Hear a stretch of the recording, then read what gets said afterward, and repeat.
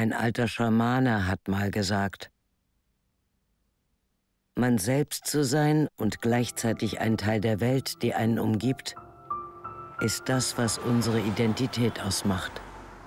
Doch was geschieht mit uns, wenn sich die Welt, die uns umgibt, allmählich auflöst?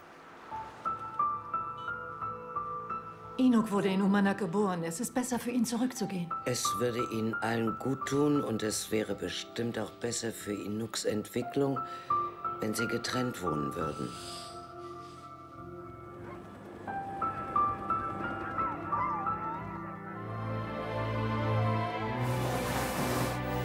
Inuk, du fährst doch mit, oder? Wenn wir noch lange warten, sind die Robben verschwunden.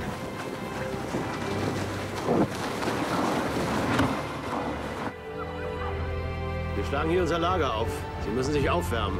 Alles klar? Ihr müsst eure Hände aneinander schlagen, so wie ich.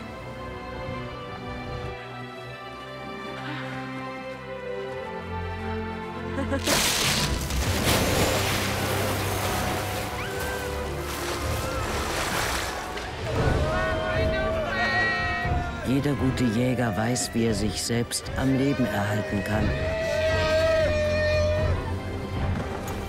Aber wie soll man einem Jäger wie Ikuma erklären, dass wenn wir als Volk überleben wollen, die Jagd allein nicht genügt?